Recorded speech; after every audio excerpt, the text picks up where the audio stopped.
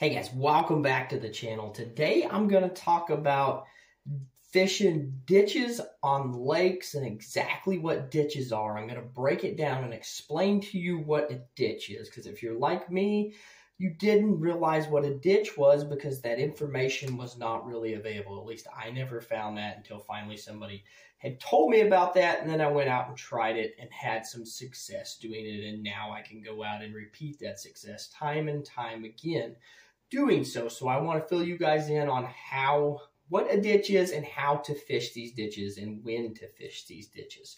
Before I get started, um, I appreciate all of you guys that have taken the time to watch my video and watch my videos and you guys that are still watching the videos. I truly appreciate that. If you guys are a new um, viewer, if you would, if you're not a subscriber to the channel yet, um, please subscribe to the channel and like the video if you guys like the content I'm putting out. If you got any questions, um, comment them back. I'll get back with you as soon as possible. I'm pretty quick at getting back to anybody that comments on my YouTube post. I like hearing from you guys. I like hearing that, that my content is helping you guys. That helps me focus more on helping um, the people and seeing what my viewers want to see. Okay, so let's jump into ditches. So this first photo here is of Stockton Lake. And then I'm going to be talking about Stockton Lake in, in Missouri is where it's at. It's in eastern Missouri, about uh, middle eastern Missouri, um, almost all the way, not quite to the east side, but not too far. It's about an hour and a half from me here in southeast Kansas, where I'm at, around the Columbus, Kansas, uh, Joplin, Missouri area right here. And I want to talk about it because I'm real familiar with it. And I went out um, last spring and did this very effectively. It was last March and last April. That's why I want to talk about this because it's just something I did recently, not this year yet. So, this first photo here, I'm going to talk about these setted ditches right here. I'm going to talk about, I think there's three of them in there, three or four of them I'm going to talk about right there. I like to fish in the winter and in the early spring and I like to fish them in the spring as well. We'll get into that. Okay, the second photo is a close-up of the ditches, and the red is the ditches themselves. That is where the ditch runs in there, where it's like an old creek bed that runs through there, or an old creek channel. And the yellow out there, that that's the main river channel, okay?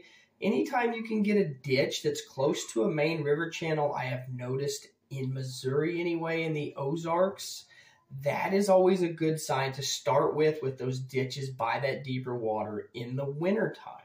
Now, why is that? That's because those bass can move up and down from that deeper water to that shallower water with not moving very far. And depending on how the wind is blowing and the conditions that day will determine where those fish are exactly in that water column. And like I said, the yellow is the main river channel out there. And then the green is basically, these are highways that these fish use in the winter to go from deep water back into these coves, which are the ditches. They use these ditches as basically look at them and picture them as highways, as you trying to get back and forth and people going back and forth to work, okay? Um, like the, the freeway would basically be your main river channel and then your ditches are your your side roads that everybody's getting off, kind of like off ramps. Kind of picture it like that. Your off ramps going off, and your side roads going into, say, when you get off to go into a gas station, for example. Start picturing it like that when you're looking at a lake and breaking down a map. I know this works really good Missouri, Missouri to break it down this way, and this has really helped me, and it should help you after you start understanding how to do this. Um, let me see here. Yeah, the green is the path that these fish use to go from deep water back into the coves. Now, these ditches are better if you have wind blowing back in them. Now, why is it better when the wind is blowing? Well, for one, it helps them where they can't see as well. They don't see you as well. And then it is also because it blows the bait fish, but not the bait fish. I've had some people in the video say it don't blow the bait fish. That is correct. It don't blow the bait fish. It blows the plankton that the bait fish eat back into these coves, and then the shad follow the bat or follow the plankton back into these coves, and the bass follow the shad. And I'll get into that here in a couple other videos. You'll see you want to look for areas where these bass can corral them and pin them back in these coves, these deeper ditches, basically. And that you get out in the ditch and you fish out there and use your front facing sonar is a great tool for that, guys. That is why the front facing sonar is so crucial right now because it allows you to see these balls of bait and it allows you to see the bass themselves and cast your lures to them. Your A rigs, swim baits, and jerk baits work best this time of year in the winter and early spring to catch these fish, guys. Now, this third photo, these ditches here, these are the deeper ditches. These are the kind of ditches I would focus on in the dead of winter time when the temps are the coldest. Your December, your late December, January, and February is in early March. Early March can be, I mean, if it's warm or cold, but when it starts, when it's cold in March, in your late February's, focus in these areas that got the deeper ditches and like I pointed out before, the river channel close by there. So the red is the cove and look for the fish out in the middle, like I said, with the jerk bait and A rig. Look for them out there in the middle right there. And if the wind's blowing in, look for them to be corralled back in there and just kind of go around with your live scope and look around for those balls of shad. And then the green again is the path they follow to move up and down out of the main channel right there. That is your ditch. That is what they're moving in and out of. Now, let's say you don't have the wind, they're still going to be there. They're just not going to be as conjugated. They're not going to be just because when the wind blows, it blows them shad into schools and they school up even more and allows the bass to pick them off easier and schools the bass up more. When the wind's not blowing, it gets a little more difficult and they get a little more spread out. So you got to look around for them some more or look for some brush piles in these types of areas where they'll sit on when that wind's not blowing as much. And now the fourth photo here, guys, these right here are two of my, one of my favorite, I mean, there's two of them there, but the one to the south is one of my favorite places to fish on Stockton Lake itself, no matter the time of the year. And this ditch is better when it gets closer to spring, late February through April. I catch them there as well out in these ditches. I caught some last April. It was colder um, April of last year, and it was colder out there, and I caught him out in that ditch. This was actually the first time I had ever went and fished ditches like this, because somebody was explaining it to me. It was actually a kid down on Table Rock, and I, I was kind of talking to him when he won the BFL, and he was telling me about how he kind of did it. He didn't show me, but he was giving me an example, and I was like, you know what? I was out there fishing with a buddy, and I was seeing some shad or some birds out there. Look for birds is another big thing. That'll tell you where the shad are, guys. Look for the birds. I can't remember the exact name of them, but I know they're diving. They're they're like ducks and they dive under the water. They're bigger birds, kind of like ducks, and they dive under the water and they eat those shad. So wherever you see those ducks at, that's where that shad is. And I seen some right out in the middle of that southern cove there. And I seen them out in the middle, and I said, you know what? I told my buddy I was fishing with. I said, let's go out there right now. I said, let's go see if I can't find one of these. And the wind was blowing it back in there. The wind was blowing out of the north, in the west, so it was blowing right into there, blowing into that ditch, pushing that them shad back in there and bass. And I got out there in the middle, and then I started seeing individual bass. And I would see shad, and then I would see two or three bass. And I would cast the jerk bait out there, and I would start catching them. A jerk bait and a swim bait. I was throwing a Vision 110 jerk bait, Megabass, and also a 3.5 inch uh, big hammer out there at them.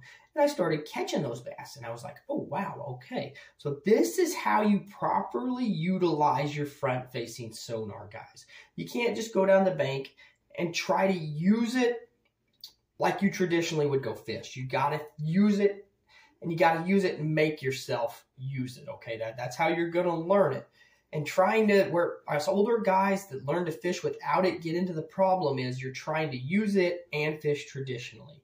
You either got to fish traditionally and not look at it, or look at it and just focus on it. You can't do both of the two. You're stuck in between there. It's like, which one do I do? And you're just, you just, your head's basically fighting yourself. You just got to make yourself use it, get better with it, and this will make yourself get better with it. Go out after you watch this video right now, to up until April, depending on what part of the country you're in, and focus in areas like this, look for those birds and go out in the middle there and force yourself to use this, guys. This is how you're going to get better with it.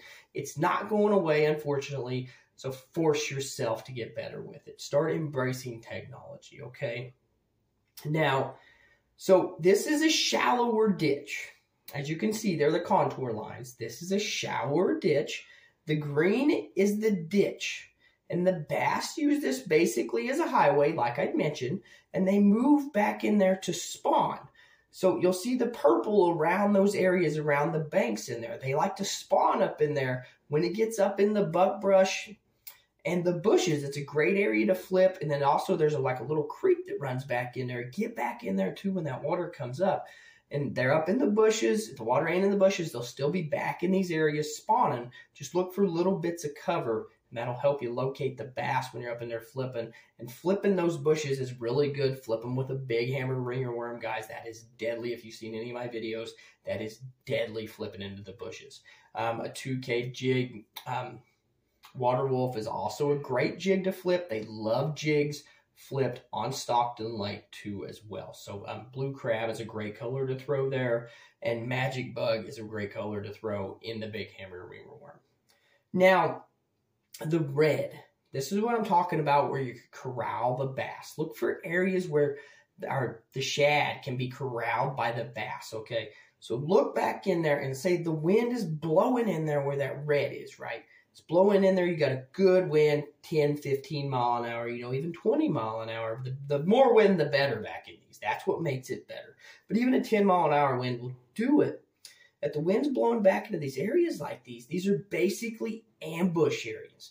Just picture this um, like you're pushing, let's say, cattle, for example. You're pushing cattle and it's basically funneling down. And then once you hit the end of that cove back in there, you got that ditch. And you hit the end of that cove, they have nowhere else to go. So that that's pushing them back there, and they don't want to go too shallow because it's too, you know, the water gets too cold once we get up too shallow. So the shad stay in that area where they're comfortable, but that wind's blowing that plankton in there. So they're eating on that plankton in there, and then that's where these bass ambush them, and they keep them pushed back in there, and they just keep them in there where they can't come out, and that wind keeps them blown back in there. So focus on these areas, and I hope this helps you guys kind of understand this. That's why that video was there, to help you understand what these bass are doing exactly, and how to locate them. And after you start doing it a little bit, start piecing the puzzle together. Look on Navionics web app and see what is similar across the lake, and just start patterning that everywhere. Look at your rock it's not so much about rock now when you're out in the channels, it's more of map reading now. Used to be you would pay attention to the rock that's on the bank, the rock transitions, but when you're out in the middle like this in the ditch, that none of that really matters. Maybe just more look at your contour maps, look at the flatter contours. Was they on the flatter contours? Was they on the deeper contours? Which one are they doing? Find out what um, you know, transition these fish are in, and then you can pattern that all across the lake. So now we got all that, and they use all these basically, like I said, they come out of that main river channel, and they use these to move up and down to feed, and then they also use these uh, ditches to move back into spawn, and then they do the same thing coming back out. They do the same thing in the summer. I have found they stay shallower in the summer. You can catch them shallower in the summer than in the winter. The ditch fishing I have found is better in the winter for me. I haven't figured it out yet how to get out there and catch them in the summer with the front facing sonar. Got to play around with that more this summer, but I have heard it's pretty much the same thing. You just change your technique up a little bit.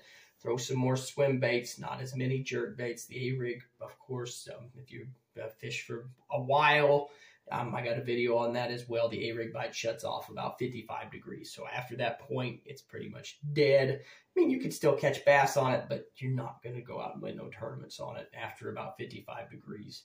So hopefully this helps you guys understand ditches and gives you, if you guys fish Stockton Lake, maybe that'll give you a more understanding of Stockton Lake and hit these areas. If you're out there, be sure to try to hit these two areas and you should get fish out of these areas. All right, thank you guys.